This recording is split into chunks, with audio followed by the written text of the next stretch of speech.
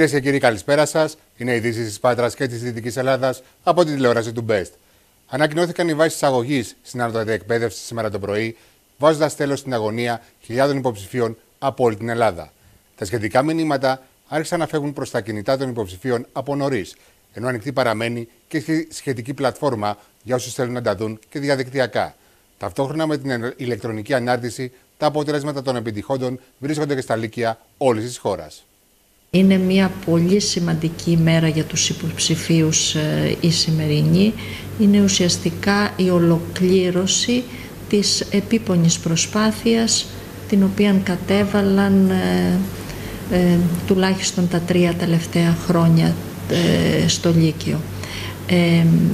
Έχουμε, είχαμε μια συνεχή ροή αποτελεσμάτων από το πρωί μέσω email με τα, τα αποτελέσματα αυτά στάλθηκαν στα σχολεία.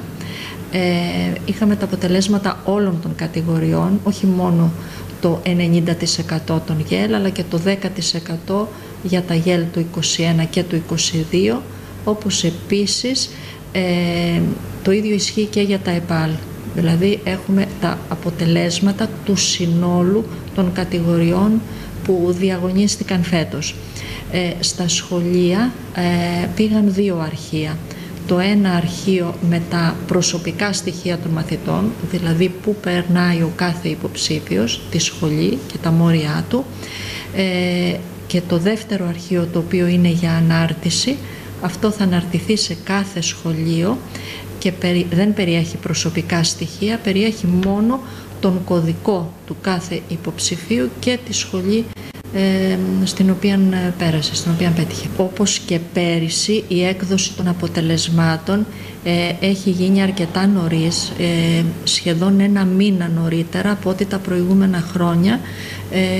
αυτό θεωρούμε ότι είναι σημαντικό για τις οικογένειες, για το, τον οικογενειακό προγραμματισμό, για το σχεδιασμό των οικογενειών εν ώψη της νέας πραγματικότητας αυτό ε, για να μπορούμε να δώσουμε αξιόπιστα στοιχεία θα πρέπει να γίνει ε, μια ε, στατιστική αποτίμηση των δεδομένων που χρειάζεται οπωσδήποτε κάποιο εύλογο χρονικό διάστημα. Δεν μπορεί να γίνει αυτή τη στιγμή αν μιλάμε για το, επίπεδο, για το επίπεδο αχαΐας, δηλαδή για το νομό μας.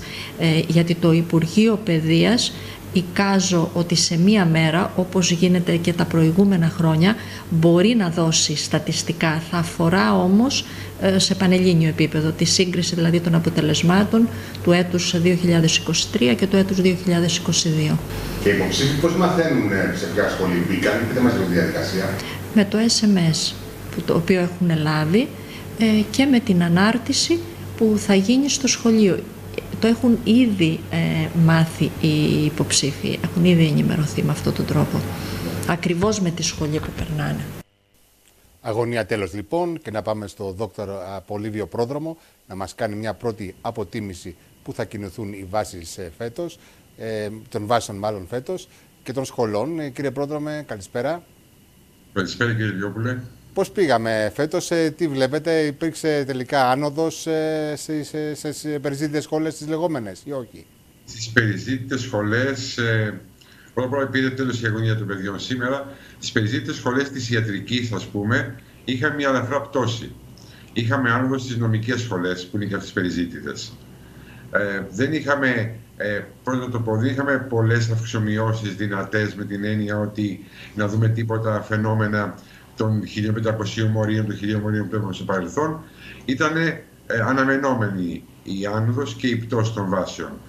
Ε, ανάλογα με τα θέματα. Θυμά, θυμάστε, είχαμε κουβεντιάσει πάλι ότι τα θέματα του πεδίου, των, ε, των, των, του τομέα υγείας ήταν λίγο πιο τσιμπημένα, άρα αυτό έδωσε, έριξε λίγο τις βάσεις κατά 100-150 μόρια. Οι νομικές όμως, δηλαδή θεωρητικές σχολές, πήγαν ψηλά. Νομική Θεσσαλονίκη ναι. υπάρχει άνοδος μέχρι και 490 μόρια, πληροφορούμαστε, ναι. έτσι. Είναι αλήθεια αυτό. Όπως είδαμε και, τα, και την ΣΑΣ ε, των Ευελπίδων, να το πω όχι ΣΑΣ των Ευελπίδων, στα όπλα είδαμε να πέφτει 1800 μόρια. Είδαμε κάτι τέτοιο, αλλά ήταν μεμονωμένα τα, τα στοιχεία αυτά. Θα πρέπει να πούμε ότι είδαμε και μεγάλη πτώση στις θεωρητικές σχολές, φιλολογίες και κάποια παιδαγωγικά, όπως και στα οικονομικά. Είδαμε σχολές που με 7,5 βαθμού εισαγωγής. Αυτά λίγο πρέπει να μας προβληματίσουν. Ε, Ποιες είναι τελικά, ε, πού βλέπετε να στρέφονται οι υποψήφοι; Υπάρχουν σχολές οι οποίες οδηγούν και στην αγορά εργασίας που ξεκλειδώνουν δηλαδή την αγορά εργασίας ή όχι; Ναι, υπάρχουν κάποιες σχολές οι οποίες εμπειρικά θα το πω είναι οι πολυτεχνικές αυτές που ξεκλειδώνουν την αγορά εργασίας. Είναι οι νέες τεχνολογίες έχουν μπει στη ζωή μας, έχει μπει η τεχνητή νοημοσύνη στη ζωή μας. Άρα, όλες οι σχολές οι οποίες έχουν να κάνουν με, το, με τον υπολογιστή, έχουν να κάνουν με, την, ε, ε με τα νέα δεδομένα, τα επιστημονικά, είναι αυτές που ξεκλειδώνουν τις σχολές τη θέση εργασίας. Βεβαίως, το θέμα είναι να τα αγαπάει και το παιδί, γιατί αν το παιδί δεν αγαπάει το επάγγελμα το οποίο σκοπεύει να ακολουθήσει ή αναγκάζεται να ακολουθήσει ένα επάγγελμα, για παράδειγμα ιατρική, γιατρός, να γίνει γιατρός, δεν θα γίνει ποτέ καλός επαγγελματίας. Είναι απαραίτητο λοιπόν να, να ελέγχουμε, να, μάλλον να ελέγχουμε ακριβώς, να ζητάμε και την ε, γνώση των παιδιών. Με την έννοια ότι τα παιδιά να μας πούν τι είναι ο τομέας που τους ενδιαφέρει ή να τα προσπρώχνουν προς τον τομέα των ενδιαφέροντων τους. Από εκεί και πέρα, πάντως, ε, Βλέπε, μου είπατε πριν ότι υπήρξε και μια πτώση σε σχολές στρατιωτικές, έτσι. Ναι, είδαμε μια περίεργη πτώση 1800 μόρια στα όπλα της σχολής Ευελπίδων. Πού μπορεί να οφείλεται αυτό, ε, Γιατί είναι μια σχολή η οποία οδηγεί κατευθείαν στην αγορά εργασίας, έτσι. Με το ναι. που έχεις ε, ήδη εισαχθεί. Σωστά. Ε, αυτό μπορεί να οφείλεται, ακόμα δεν έχουμε στατιστικά στη χέρια μας, αλλά ε, προτιμήσεις κλπ. Μπορεί να οφείλεται ενδεχόμενα να οφείλεται και στο γεγονός ότι κάποια παιδιά στο να μην αντέχουν τις συνθήκες σε κάποια στρατιωτική σχολή. Ή να μην είχαν επιλεγεί από υψηλό βαθμό άτομα, από υψηλό βαθμό μαθητές, η σχολή αυτή. Ε, ενώ καλύφθηκαν οι θέσει, εν τούτης είχαν μεγάλη πτώση. Ξέρετε, είναι, αυτά είναι οι συγκυρίες, είναι και τα, αυτό που συμβαίνουν κάθε χρόνο. Είναι οι εκπλήξεις που ανεβοκατεβαίνουν οι σχολές. Μου είπατε επίσης και για την ιατρική, υπήρξε σε κάποιες σχολές ελαφρά πτώση, έτσι. Σε κάποιες σχολές, ναι. Είχαμε μια μικρή πτώση στην ιατρική των 100 περίπου μορίων. Βέβαια, η ιατρική Αθήνα παραδοσιακά είναι από τις περιζήτητε σχολές, έφτασε στα 19.000 μόρια. Είχαμε όμως μικρές πτώσεις, περίπου 50, 70 έως 100 μόρια. Και μεγάλη αύξηση είχαμε και στις νομικές. Νομική, μεγάλη δηλαδή φέτος είναι δύσκολα, έτσι. Τι είπατε. Για, για εισαγωγή στην νομική φέτος είναι δύσκολο σε σχέση με άλλες χρονιές. Ναι, σωστά, ήταν λίγο πιο δύσκολο σε σχέση με, το περσινά, με τα περσινά δεδομένα. Ναι, ήταν λίγο πιο δύσκολο. Γιατί είχαν γράψει καλά τα παιδιά, πιο εύκολα τα θέματα, πιο βατά τα θέματα ε, και στη γλώσσα και στα αρχαία, ήταν και λατινικά και ιστορία. Ήταν λίγο πιο εύκολα για τα φετινά παιδιά. Θέλετε λίγο να μας δώσετε και την εικόνα στον τομέα της πληροφορικής των σχολών που σχετίζονται με αυτό το αντικείμενο; Κοιτάξτε, οι πληροφορικοί είναι οι σχολές, ε, οι σχολές της πληροφορικής, το Πολυτεχνείο δηλαδή, είναι σχολές σταθερής αξίας. Με την έννοια ότι ανεβαίνουν κάθε χρόνο περίπου 100-150 μόρια. Είναι τα παιδιά που είναι στοχευμένα στις σχολές αυτές και, και πάλι και εκεί δεν είχαμε εκπλήξεις μηχανολόγοι μηχανική, μηχανική υπολογιστών και πληροφορικής. Είναι από τις περιζήτητες σχολές. Είναι από τις σχολές που έχουν άμεσα αποκατάσταση και τα παιδιά πάνε στοχευμένα.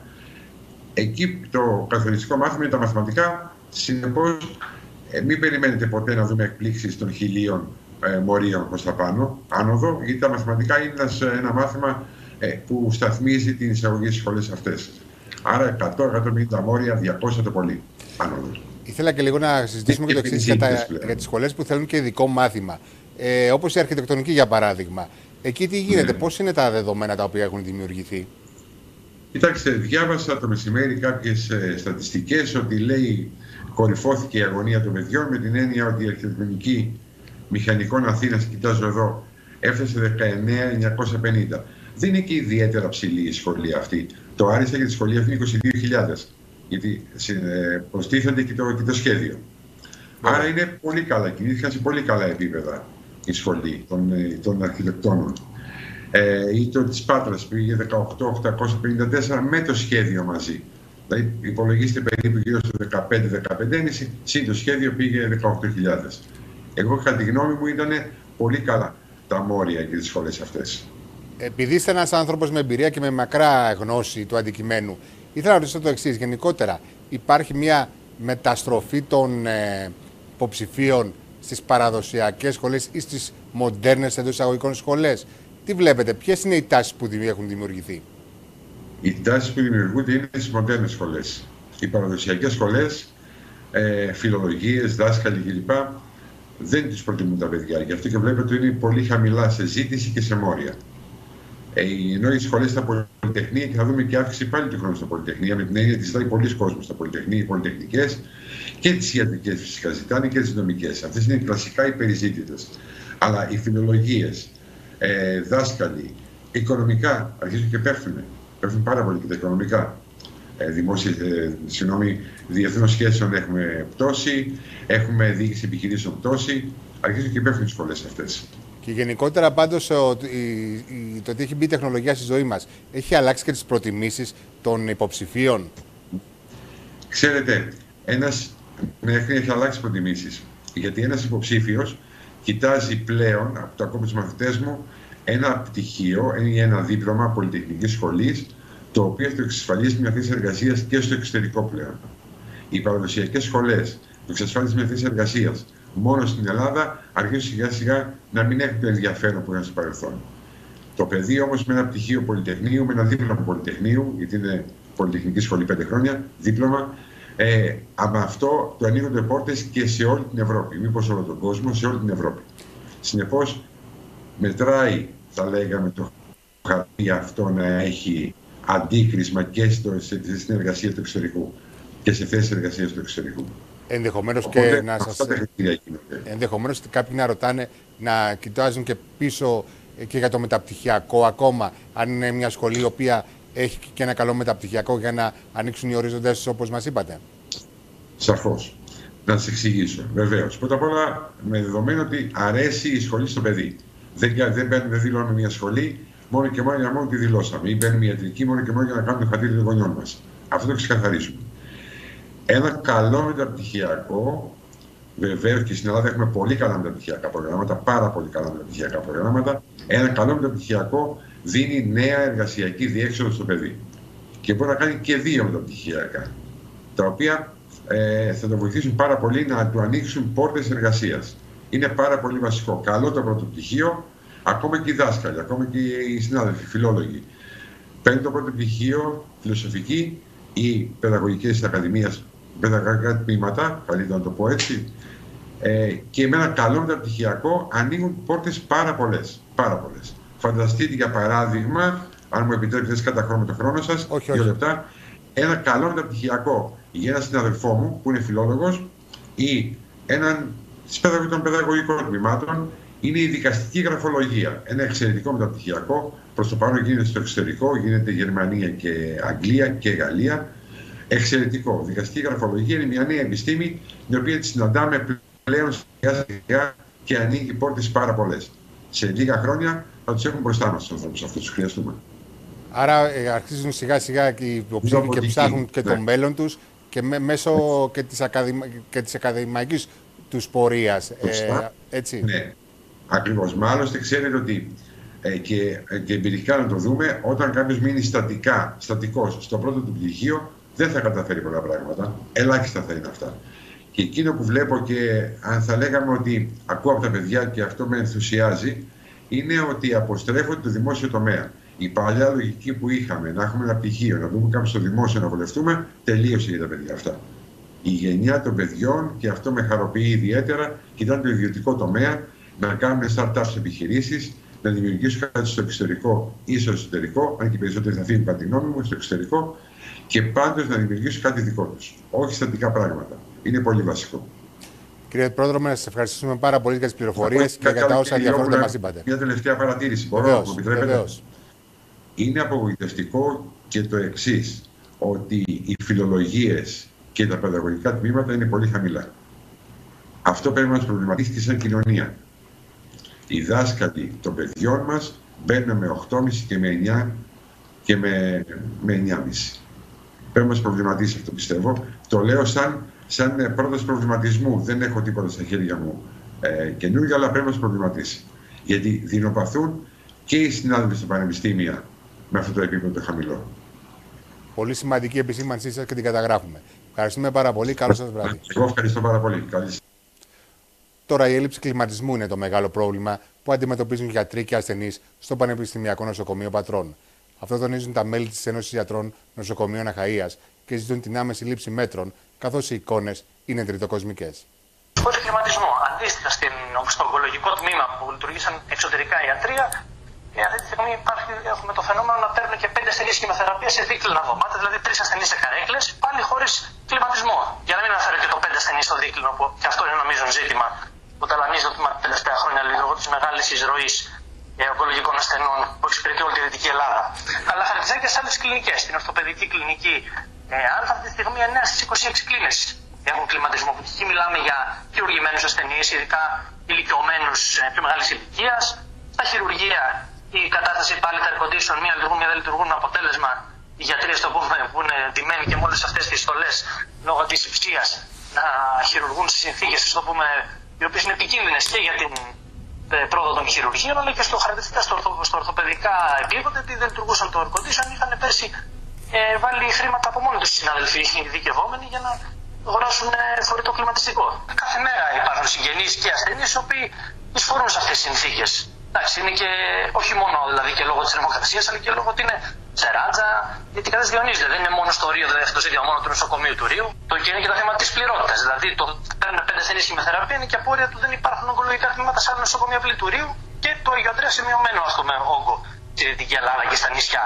Το ότι το ψυχιατρική αυτή τη στιγμή έχει 9 ράτζα είναι αποτέλεσμα της ψυχιατρικής μεταρρύθμισης που έχουν κλείσει οι δημόσιες δομές και δεν υπάρχει καμία άλλη ψυχιατρική δομή πιο κοντινή εκτός της Τρίπολης για το νοσοκομείο του Ρίου και το Αγίου Αντρέα. Ακόμα φτιάχνονται καινούργια κτίρια που θα μπορούσε να εγκαταστήσει, το πούμε, άλλη δημόσια δομή ψυχιατρική.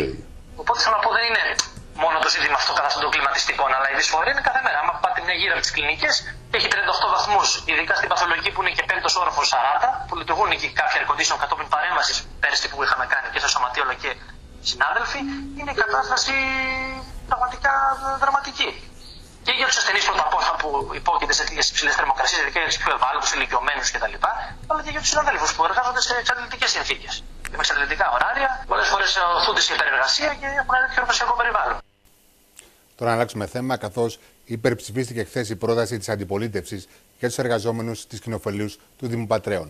Τα μέλη της αντιπολίτευσης πρότειναν οι εργαζόμενοι να επιστρέψουν στο Δήμο γιατί καλύπτουν πάγιες και διαρκείς ανάγκες. Ωστόσο, μένει και το δικαστικό σκέλος της υπόθεσης, μέσω του οποίου θα αποφασιστεί και η τύχη τους.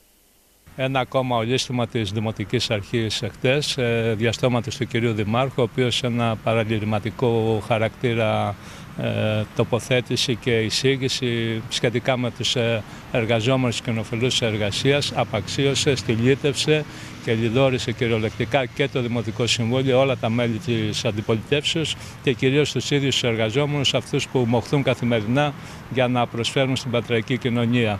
Ε, δυστυχώς ε, δεν πέρασε η δική του πρόταση, υπερψηφίστηκε η εισήγησή μου για την πρωτεύουσα ξανά του Γρηγόρη Αλεξόπουλου, αλλά και εξ ονόματος όλων των μελών και παρατάξεων της αντιπολιτεύσεως. Είμαστε δίπλα, στηρίζουμε τους εργαζομένους, θέλουμε να πιστεύουμε ότι θα υπάρξει μία ακόμη δικαίωση στην δικαστική τους ε, προσφυγή και πως θα υπάρξουν αυτά αποτελέσματα άμεσα, ώστε αυτοί οι άνθρωποι να επιστρέψουν διότι καλύπτουν πάγιες και διαρκείς ανάγκες και να προσφέρουν πραγματικά όσο μπορούν το οποίο άλλωστε έχουν αποδείξει περίτρανα για την εύρυθμη λειτουργία της πόλης μας. Δυστυχώς η Λαϊκή Συσπήρωση για μία ακόμη φορά και ο Δήμαρχος, ο Κώστας Πελετίδης, γύρισαν την πλάτη και απαξίωσαν αυτή την προσπάθεια.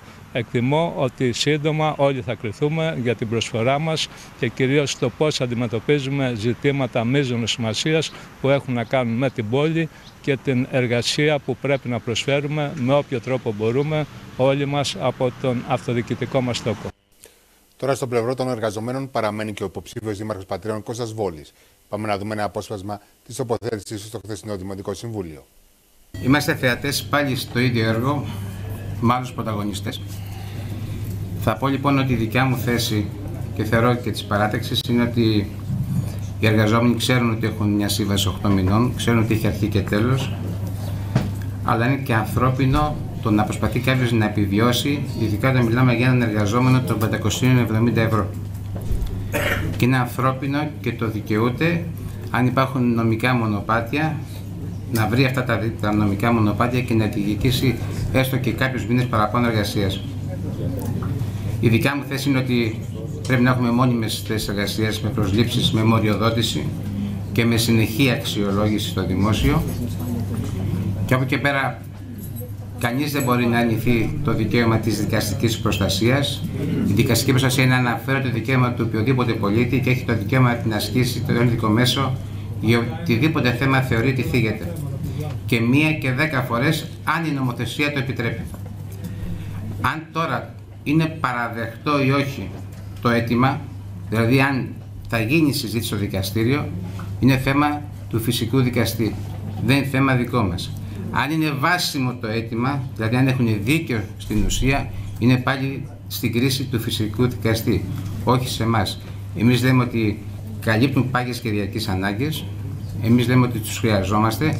Άλλωστε, αν δεν τους χρειαζόμαστε, δεν θα ήταν εδώ αυτούς τους 8 μήνες που πέρασαν. Και επιμένω και λέω λοιπόν ότι αν έχει το δικαίωμα ο οποιοδήποτε να διαλέξει τον οποιοδήποτε νομικό συμπαραστάτη, γιατί έχουμε ακούσει εδώ πολλάκι ότι ως εργατοπατέρες κάποιοι ότι κάποιοι σας εκμεταλλεύονται κάποιοι και τα διάφορα τα συναφή. Εγώ θεωρώ λοιπόν ότι έχετε το δικαίωμα να κάνετε αυτό που εσείς κρίνετε με τη βοήθεια του νομικού συμπαραστάτη που εσείς αποφασίσετε να έχετε. Είμαστε ανθρώπινα υπέρ εσάς.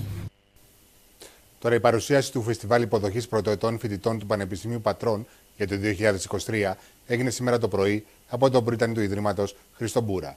Μια πρωτοβουλία που στόχο έχει την εξωστρέφεια του Πανεπιστημίου οι πανεπιστημιακές εκδόσεις του Πανεπιστημίου Πατρών και θέλω να ευχαριστήσω τον Διευθύνοντα Σύμβουλο της εταιρείας που κάθισε μακριά κύριε Κατσαούνη θα εκδώσουμε ένα βιβλίο που είχε εκδώσει παλιά η Περιφέρεια του Δημήτρη του Κοσμόπουλου.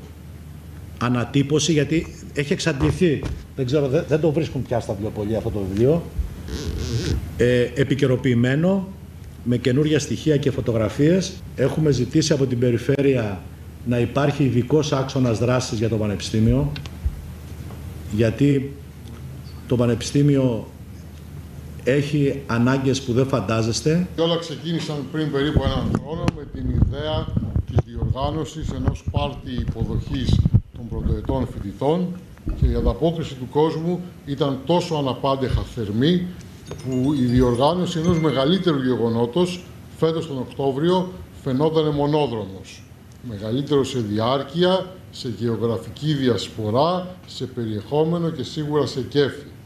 Πιο πολλές λοιπόν εκδηλώσεις και πιο ποικιλόμορφες εκδηλώσεις σε περισσότερες ημέρες και σε περισσότερα σημεία. Για δεύτερη συνεχόμενη χρονιά και νομίζω είναι κάτι το οποίο αυτή η ιδέα ε, του Πανεπιστημίου είναι ό,τι καλύτερο θα μπορούσαμε να κάνουμε για τους νέους φοιτητές και όχι μόνο ε, αυτό το welcome στην πόλη μας το επιμελητήριο δεν μπορούσε να λείπει από αυτή την διοργάνωση και μάλιστα εκπροσωπώντας την επιχειρηματική κοινότητα της περιοχής ε, συμβάλλουμε και εμείς στο να γίνει κάθε χρόνο να βάζουμε ένα σκαλοπάτι παραπάνω για να γίνεται ακόμα καλύτερη. Είμαστε στη δεύτερη προσπάθεια από ένα ταξίδι που ξεκίνησε εδώ και δύο χρόνια η περιφέρεια στα πλαίσια της διασύνδεσης του Πανεπιστημίου με την πόλη αλλά και γενικότερα με την περιφέρεια Δυτικής Ελλάδας συμμετέχει σε όλη αυτή τη διαδικασία ενεργά και τα δύο χρόνια. Έγινε πέρσι η αρχή, είναι πράγματι η αρχή το ίμιση του παντός. Βλέπουμε όμως με πολύ χαρά ότι φέτος έχουμε μια εξέλιξη προς το καλύτερο. Η διοργάνωση της, ε, του φεστιβάλ, ας το πω έτσι, της, του καλωσορίσματος είναι μια, ένα στιγμιαίο και έχει μεγάλη σημασία διότι ε, δείχνουμε ότι τους νοιαζόμαστε και ότι είμαστε έτοιμοι να τους υποδεχτούμε τόσο το Πανεπιστήμιο όσο και η πόλη. Όμως, το πιο σημαντικό είναι ότι όσοι περάσανε στο Πανεπιστήμιο Πατρών και θα ζήσουν στην Πάτρα, θα κατακτήσουν τη γνώση στο Πανεπιστήμιο Πατρών, αλλά θα έρθουν και θα γνωρίσουν τις προκλήσεις τόσο της επιστήμης, αλλά όσο και της ακαδημαϊκής ζωής. Το καλωσόρισμα το δικό μας, προφανώς και είναι ένα ευτυχές γεγονός για το Δήμο Αγρινιού και συμμετέχει με χαρά. Συμμετέχουμε με διάφορες δράσεις. Έχουμε συνεννοηθεί με τους διοργανωτές ε, για μια μεγάλη συναυλία και μια συναυλία με τοπικά συγκροτήματα της πόλης του Δήμου του Αγρινίου. Αυτή την εικόνα που βλέπουμε σήμερα εδώ, αυτό το άρωμα που αναπνέουμε, αυτή την προοπτική και την ελπίδα που βιώνουμε, ας φροντίσουμε να την κρατήσουμε σφιχτά. Στο χέρι μας είναι εξάλλου, να τα καταφέρουμε. Αρκεί να το θέλουμε όλοι μας. Το κύριο ζητούμενο κατ' εμέ είναι το πώς το Πανεπιστήμιο θα συμβάλλει ενεργά και έμπρακτα στον δημιουργικό μετασχηματισμό τόσο της πόλης όσο και της περιφέρειας. Αυτό το καλωσόρισμα στους φοιτητές είναι ένα καλωσόρισμα που οφείλουμε να κάνουμε κάθε φορά που δεχόμαστε κάποιους σε ένα χώρο που δεν έχουν ξαναέρθει. Να αισθανθούν δηλαδή ότι αυτός ο χώρος είναι ένας χώρος οικείος, φιλικός. Εύχομαι στους νέους ε, φοιτητές καλώς να ορίσουν και καλές σπουδές. Και να αλλάξουμε σελίδα στο δελτίο μας, να πάμε στο συνάδελφο Δημήτρη Χωρίτο να μιλήσουμε για τις αυτοδιοικητικές εκλογές και τις επιλογές των κομμάτων στις μεγάλες ε, πόλεις. Δημήτρη, καλησπέρα. Καλησπέρα Γιώργο. Πράγματι αρχίζουν ε, σιγά σιγά ε, τα κόμματα να ε, δείχνουν με ποιο τρόπο θα επιλέξουν ε, πρόσωπα ειδικά για τους ε, δήμους διότι στις περιφέρειες η Νέα Δημοκρατία είπε ποιους θα στηρίξει. Το Πασόκ επίσης ξεκίνησε να στηρίζει ή να δίδει χρήσματα ουσιαστικά στις περιφέρειες. Οι πολύ πετεμένοι δικοί μας είχαμε πει για τον Δημήτρη ε, Κωνσταντόπουλο απέναντι στην ΑΠΑΧ. Αυτό θα είναι το πρόσωπο στη Δυτική Ελλάδα. Ε, ωστόσο στους Δήμους θα κινηθεί εντελώς διαφορετικά. Πλην Αθηνών, ε, όπου το πρόσωπο που θα στηριχτεί θα είναι ο Χάρης Δούκας, ο τομεάρχης ενέργειας του ΠΑΣΟΚ και ένας από τους πλέον γνωστούς ακαδημαϊκούς στη χώρα μας στον τομέα ουσιαστικά ε, της ε, ενέργειας. Ε, στους ε, λοιπούς ε, δήμους ε, στηρίξεις θα δώσει ο Ανδρουλάκης, είτε έμεσες είτε άμεσες. Θέλει να, να κινηθεί πιο χαλαρά, να μην δοθούν δηλαδή χρήσματα, να μην λειτουργήσουν παλαιοκομματικά όπως ο ίδιος διασαφήνισε στα στελέχη του κόμματός του σε ό,τι αφορά τις αποφάσεις αυστηρά για τους Δήμους, διότι κακά τα ψέματα, Γιώργο, στην περιφέρεια είναι κομματική η μάχη, όπως και στο Δήμο Αθηναίων, όπου κατοικεί η μισή κυριολεκτικά Ελλάδα, όπου εκεί δεν μπορεί να κινηθεί ε, τοπικό αυτοδιοικητικά, αλλά αμυγός κομματικά. Εξού και η επιλογή του ε, Χάρη Δούκα. Ε, τώρα στη Θεσσαλονίκη που υπάρχουν δύο πρόσωπα δεν θα μπει προερχόμενα από το Πασόκ ο Ανδρουλάκης σε αυτή τη διαδικασία ε, ποιον εκ των δύο θα στηρίξει, θα τα αφήσει ε, χαλαρά, ό,τι θέλει η τοπική κοινωνία ε, ας στηρίξει, ας δώσει εν πάση περιπτώσει την ψήφο του ή ας δείξουν τα τοπικά μέλη προς τα που θα πάνε. Τώρα στην Πάτρα ε, είναι αναντήρητο γεγονός ότι στηρίζει αϊβαλή χωρίς όμως επισημότητες, χωρίς τυμπανοκρουσίες και χωρίς φυσικά χρήσματα. Μολονότι προέρχεται ο κύριος Αϊβαλής από τα σπλάχνα του Πασόκ, τον στηρίζει μεν ο ΣΥΡΙΖΑ, αλλά ο Ανδρουλάκης θα το ε, πει ε, πολύ πιο χαλαρά, αν τολμώ να πω αυτή την λέξη, αυτή την έκφραση, αν υφίσταται, εν πάση περιπτώσει, ε, στηρίζοντας φυσικά Αϊβαλή. Και στις λοιπές μεγάλες πόλεις, Λάρισα, Βόλο κτλ. Ε, θα κινηθεί κατά αυτόν τον τρόπο, όχι χρήσματα, μόνον στηρίξεις και οι στηρίξεις θα, ε, θα τις διατρέχει τις στηρίξεις αυτό που λέμε μια κομματική χαλαρότητα, ώστε αυτά τα ψηφοδέλτια να είναι πιο ανοιχτά και στην κοινωνία και γενικότερα να μπορέσουν να κάνουν κάποιες συνθέσεις ε, προσώπων και ε, τάσεων που ενυπάρχουν στους ε, Δήμους. Ξέρουμε Γιώργο και το ξέρεις πολύ καλά, διότι είσαι πολύ πυρος στο επάγγελμά μας ότι οι δημοτικές εκλογές δεν έχουν σχέση με τις ε, περιφερειακές. Εκεί ε, μπλέκουν ε, πολλές παράμετροι μαζί και ανακατώνονται συγγένειες, φιλίες ε, ε, και ακόμα, ακόμα αν το θέλεις άτομα που την πρώτη Κυριακή μπορεί να ψηφίσουν το φίλο τους σε μια παράταξη και τη δεύτερη να ψηφίσουν την παράταξη που κατ' ουσίαν επιλέγουν. Το έχουμε δει πολλάκις ε, στις δημοτικές εκλογές.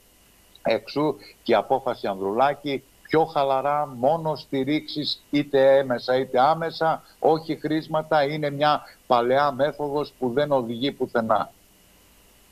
Έχεις δίκιο, Δημήτρη. Ε, από εκεί και πέρα πάντως ε, ε σε τοπικό επίπεδο θα έχουμε κάποια εικόνα για κάποιες περαιτέρω αλλαγές ε, γιατί μεγάλο ζητούμενο για, για το, την παράταξη του Κώστας Βόλη. Τι θα γίνει αν θα πάρει τελικά το χρήσμα επισήμως από την Νέα Δημοκρατία. Εκεί υπολείπεται ακόμα ε, η ανακοίνωση του, ε, του κόμματος, της, ε, του κυβερνώντος κόμματος ό,τι αφορά ε, την Πάτρα και όχι μόνον. μεσολάβησαν οι πυρκαγιές, όλα αυτά που ξέρουμε μέχρι στιγμής τα οποία είναι δραματικά ε, οδυνηρά, έχουμε θανάτους, ε, είναι εν εξελίξει πυρκαγιές, ε, αναζωπυρώσεις. Ε, ε, όλη η Ελλάδα σχεδόν από άκρου εις άκρων είναι ανάστατη. Ακόμα και εμείς εδώ στην Αχαΐα τελούμε υπό επιφυλακή. Είμαστε στο 5, στο κόκκινο. Άρα δεν μπορεί τώρα να βγει και να δώσει είτε χρήσματα είτε στηρίξεις. Αυτό που κάνει η Νέα Δημοκρατία είναι να παρατείνει διολίγων την αγωνία. Πιστεύω από την άλλη εβδομάδα, Γιώργο, δηλαδή από τις αρχές της άλλης εβδομάδας θα ε, δοθούν ε, τα χρήσματα στις μεγάλες πόλεις και στηρίξεις στις μικρότερες. Δεν μπορεί να δώσεις σε όλους τους Δήμους, δεν είναι εφικτό για κανένα κόμμα. Σπάζοντας βέβαια την παράδοση ότι ο Αύγουστος, τον Αύγουστο δεν υπάρχουν ειδήσεις, έτσι. Ναι, τον Αύγουστο δεν θα, δεν θα μπούμε στον Αύγουστο με την έννοια ναι. να δίδονται χρήσματα. Εδώ δεν προλαβαίνουν ούτε παρατάξεις να φτιάξουν, ε, διότι κακά τα ψέματα με τον ε, ισχύοντα νόμο της ενισχυμένης αναλογικής που έχουν αλλάξει κάποιες παράμετροι, πρέπει να βρεις πολλά άτομα ε, και σε κοινότητες και σε διαμερίσματα και ε, ταυτόχρονα να ε, συγκεντρώσεις ένα μεγάλο αριθμό υποψηφίων και ε, να στους εγκρίνει και το πρωτοδικείο, έτσι, να μην έχεις κάνει και λάθος, διότι αν σε κόψει ως παράταξη, γεια σου. Δεν υπάρχουν ενστάσεις, δεν υπάρχει χρόνος να το ξαναδούμε. Δημήτρη, μια τελευταία ερώτηση θέλω μόνο. Ε, βλέπεις υπάρχει διάθεση του κόσμου να συμμετάσχει στις αυτοδιοικητικές εκλογές; Είναι, εύκολη, είναι εύκολος ο εντοπισμός ε, υποψηφίων; Επιστεύω ότι είναι πολύ δύσκολο ε, για κάποιον να συμμετάσχει στις ε, δημοτικές, ε, διότι κακά τα ψέματα, Γιώργο, εμείς είμαστε μια μεγάλη πόλη, είμαστε η τρίτη πληθυσμιακά πόλη και για κάποια άτομα τα οποία δεν έχουν ξαναβάλει υποψηφιότητα είναι ένα βουνό κυριολεκτικά και υπολείπεται ελάχιστος χρόνος. Γιατί αν βγάλουμε, όπως είπες, τον Αύγουστο, όπου θα ερημώσει η πόλη, έτσι, κακά τα ψέματα, τι σε 30 μέρες που να βρουν φίλους, γνωστούς ή πιθανούς ψηφοφόρους, είναι μια δύσκολη προσπάθεια ε, η κατάρτιση ψηφοδελτίου και ταυτόχρονα ε, βλέπεις πάρα πολλοί οι πατρινοί το αποφεύγουν. Γι' αυτό και κάνουν όλοι οι επικεφαλείς αγώνα δρόμου για να συμπληρώσουν τα ψηφοδελτιά τους. Κακά τα ψέματα από τον πρώτο έως τον τελευταίο. Όλοι έχουν δυσκολία. Έτσι. Εντάξει, μπορεί το κάθε ψηφοδέλτιο να έχει ε, 30-50 ε, υποψήφιους οι οποίοι έχουν την εν γέννη δυναμική τους. Από εκεί και πάνω όμως είναι πολύ δύσκολο ε, να βρεις υποψηφίους που να δεχτούν και να είναι ε, ουσιαστικοί ε, σε ό,τι αφορά την ε, αλίευση ψήφων, το τρέξιμο, τη συμμετοχή κτλ. Να μην είναι ψεύτικη, δηλαδή εικονική, απλά βάζεις το όνομα για να συμπληρώσεις ε, αυτό που πρέπει. Δημήτρη Χωρίτε, σε ευχαριστούμε πολύ για τις πληροφορίες και για το ρεπορτάζ. Καλό βράδυ. Τώρα με μεγάλη καθυστέρηση θεσπίστηκε η μείωση των εισιτηρίων στα ακτοπλοϊκά. Αυτό έχει ω αποτέλεσμα οι ταξιδιώτες να επιλέγουν οικονομικούς προορισμούς για φέτος, ενώ τα νησιά του Αιγαίου μοιάζουν με άπια στο όνειρο. Αξίζει να σημειωθεί ότι η Ανάσα δίνει το πρόγραμμα Διακοπές για Όλους που ήδη ξεκίνησε να υλοποιείται. Ναι, έχει υπάρξει μια, μια σχετική έκπτωση στα ακτοπλοϊκά, περίπου ένα 20% και συνήθως απευθύνεται σε μεγάλες παρέες ή σε οικογενειακές κρατήσεις.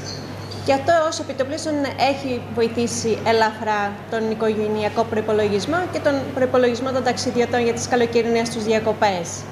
Σαν προορισμό, αν ε, με ρωτάτε εάν επιλέγουν ακόμα οι Έλληνες στα νησιά, το θέλουν πολύ, το προσπαθούν και όσοι μπορούν, ε, μπορούν να πάνε και στα νησιά, γιατί η ακρίβεια δεν είναι μόνο όσον αφορά τα ακτοπλοϊκά, υπάρχει και στα καταλήματα. Πολύ σημαντική αύξηση, της τάξης 30 και 40%. Ένα μέσο όρο σίγουρα ένα 30%. Και από τα απλά καταλήματα, τα ενοικιαζόμενα δωμάτια, μέχρι και τα ξενοδοχεία. Ε, εξακολουθεί το Ιόνιο και έχει την, ε, την πρώτη επιλογή, τουλάχιστον στον τομέα εδώ πέρα της δικιάς μας περιοχής. Το Αιγαίο, πολύ Σύρος, έχουμε κίνηση στη Σύρο και στην Πάρο από τη νεολαία. Και όχι μόνο, αλλά ιδιαίτερα η Σύρος έχει τραβήξει πολύ τον κόσμο της νεολαίας και η Πάρο. Η Μύκονος οφείλω να ομολογήσω όχι τόσο πολύ, ελάχιστες κρατήσεις. Ε, η Σαντορίνη επίσης μειωμένες κρατήσεις, εν συγκρίση με τα περσινά δεδομένα. Ε, σίγουρο ο ταξιδιώτης ε, έχει, προτιμάει πάρα πολύ τη Σέριφο, την Κύθνο, κάποια άλλα κυκλαδίτικα νησιά, ας το πούμε και ελαφρώς εναλλακτικά, για να έχουν ένα διαφορετικό τύπου διακοπών, γιατί πολλές φορές και αυτά τα νησιά τύπου Σκύρο, απομακρυσμένα νησιά έχουν και πολύ καλύτερες τιμές όσον αφορά και στην καθημερινή τους ε, διαβίωση, στο φαγητό τους και στα πάγια έξοδά τους. Γιατί οι διακοπές δεν είναι μόνο ακτοπλοϊκά και διαμονή, είναι επίσης και το υπόλοιπος προπολογισμό μιας οικογένειας και του ταξιδιωτών. Έχει βοηθήσει πάρα πολύ στο κομμάτι το ακτοπλοϊκό όσον αφορά τα, τα voucher κοινωνικού τουρισμού που έδιναν ιδιαίτερα στο κομμάτι των ακτοπλοϊκών εισιτήριων που είχαν μια μηδαμινή συμμετοχή το 20%. Εκεί πραγματικά ε, δεν σας κρύβω ότι μέχρι και αρχές Ιουλίου δουλεύαμε κατά πολύ με αυτά τα εισιτήρια. Ίσως οι υπόλοιποι που δεν είχαν αυτή τη δυνατότητα περιμέναν ίσως αν υπάρξει κάποια μείωση. Ε, σίγουρα βοηθάει. Ό,τι δίνει το κράτος βοηθάει και πρέπει να βοηθήσει, γιατί έχει μεγάλη ανάγκη ο Έλληνας να κάνει και κάποιες διακοπές.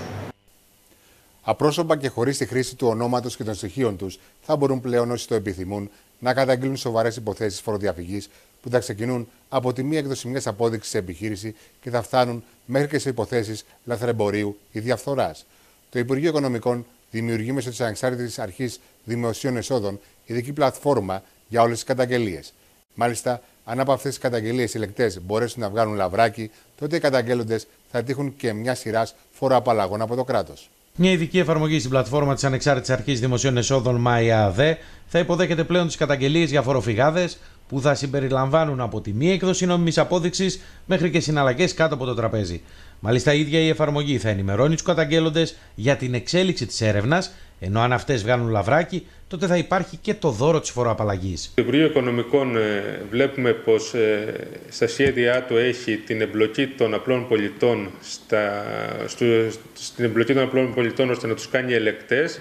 Και αυτό φαίνεται να γίνεται μέσω των εφαρμογών που έχει ετοιμάσει είτε για κινητά είτε μέσω ίντερνετ, όπου θα μπορεί ο απλός πολίτης να μπει και να δηλώσει ή να κάνει έλεγχο σε απόδειξη που θα λαμβάνει και αν αυτή βρίσκεται αλλοιωμένη ή αδήλωτη να την καταγγέλει επώνυμα ή ανώνυμα και να λαμβάνει ανάλογες φοροαπαλλαγές εφόσον η έλεγχη θα, μετά, εφόσον ο έλεγχος που θα προκύψει θα βγάλει λαβράκι. Το κράτος κοιτάει να μαζέψει όσο το δυνατόν περισσότερα έσοδα.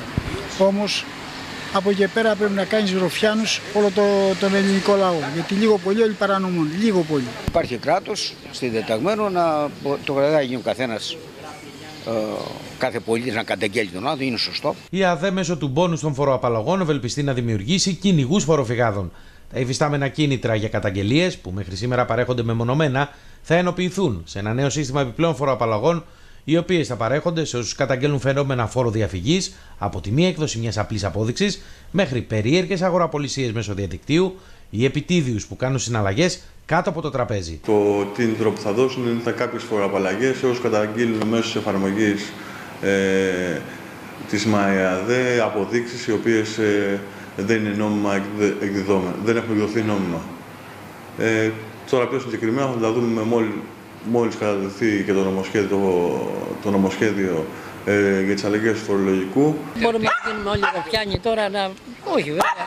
Όχι βέβαια. Άμα είναι ικανοί να ψάξουν να βρουν αυτούς που φοροδιαφεύγουν. Υπάρχουν συστήματα και εργαλεία που μπορεί να τους πιάσει.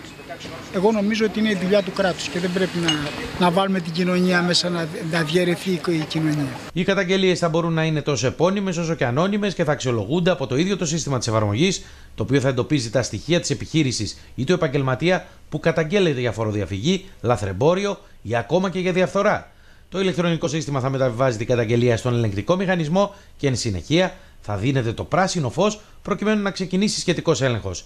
Στη συνέχεια οι ελεγκτές θα κάνουν φύλλο και φτερό την επιχείρηση που έχει μπει στο καστρό τους. Αυτό δεν ξέρουμε κατά πόσο είναι καλό ή κακό, γιατί βλέπουμε ότι θα δημιουργήσει στην κοινωνία μέσα κάποιες προστριβές είτε με τις επιχειρήσεις είτε με τους απλούς πολίτες. Αυτό θα δείξει στην πορεία πώς αυτό το μέτρο θα κυλήσει.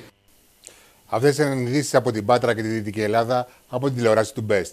Σας ευχαριστούμε πολύ που μας παρακολουθήσατε. Καλό σας βράδυ.